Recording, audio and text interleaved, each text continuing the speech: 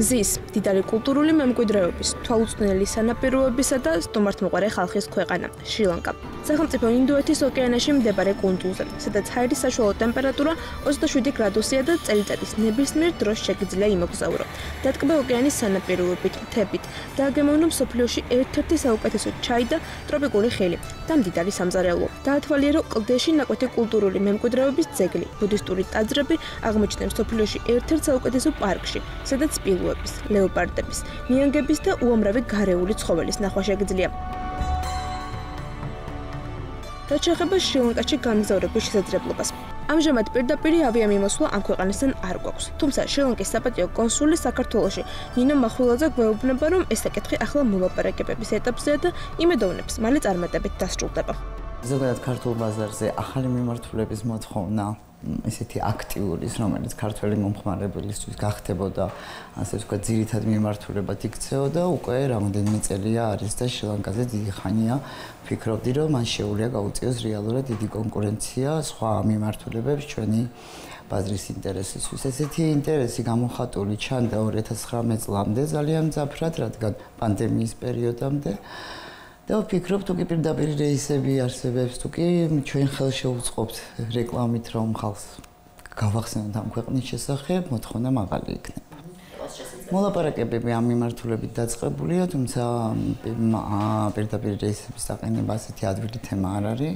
ამისათვის გერმანამდე უნდა გადაიდგას ნაბიჯები რომ თვითონ ქვეყნის პოპულარიზაცია მოხდეს რაც გაამარტივებს უფრო შემდგომ ასეთ რისკიანი პროექტების დაწყებას სასტუმრო ინფრასტრუქტურა მრავალფეროვანია. აქ შეხვდებით ხუთვარსკვლავიან, პირდაპირ ინდოეთის ოკეანის ნაპირზე განთავსებულ სასტუმროებსაც და ისეთებსაც, სადაც ცხოველთა სამყაროს გარემოცვაში იცხოვრება. ტურიზმი შრი-ლანკის ეკონომიკის ერთ-ერთი უმნიშვნელოვანესი კონტრიბუტორია და სასტუმროების შემოსავლის მთავარი წყარო.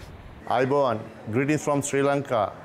ტურიზმი უმნიშვნელოვანესია შრი-ლანკის ეკონომიკისთვის და ჩვენ სასტუმროები ყველაფერს ვაკეთებთ იმისთვის, რომ აქ ჩამოსულ ტურისტებს მაქსიმალური კომფორტი შეუქმნათ და უამრავი სახეობის გართობის და შემეცნების საშუალება მივცეთ.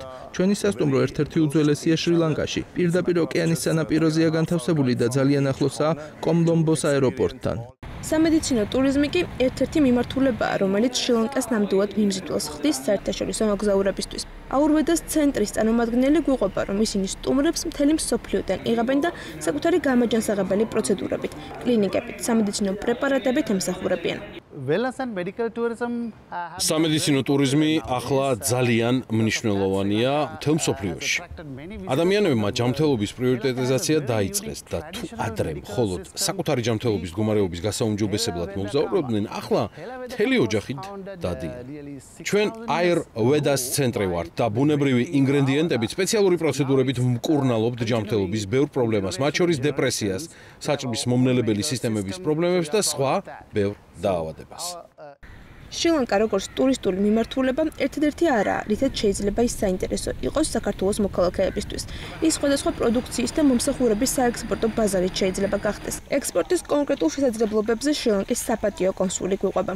მე დაინტერესებული ვიყავი და ნახულობდი ზუსტად ამ კუთხით ქართულ პროდუქციას, რომელსაც შანსი და გაგიკვირდებათ და აღმოვაჩინე, რომ ვაშლი ერთ-ერთი მოთხოვნადი პროდუქტია, რომელიც დეფიციტშია შილანკაში და ჩვენთან ის ძალიან იაფიღეს და ვფიქრობ, ყოველთვის საინტერესო იქნება ამ პროდუქტის გატანა იმ ქვეყანაში, ასევე ყურძენი, პროცეული, მოცვი. მე ვხედავ პოტენციალს ურთიერთვაჭრობის ამ ქვეყნებს შორის ნამდვილად. ვაკავშირებ ბიზნესებს ერთმანეთთან და ვფიქრობ, რომ ყველაფერი ეს და პირდაპირ ფრენა ბიზნესისთვის ყოველთვის ხელშემწყობი ფაქტორია, რომ უფრო აქტიური გახდეს ქვეყნებს შორის ბიზნესი. ამჟამად საქართველოსა და შრი-ლანკას შორის სავაჭრო ურთიერთობები და განსაკუთრებით ექსპორტი საკმაოდ მოკრძალებულ რიცხვებში გამოიხატება.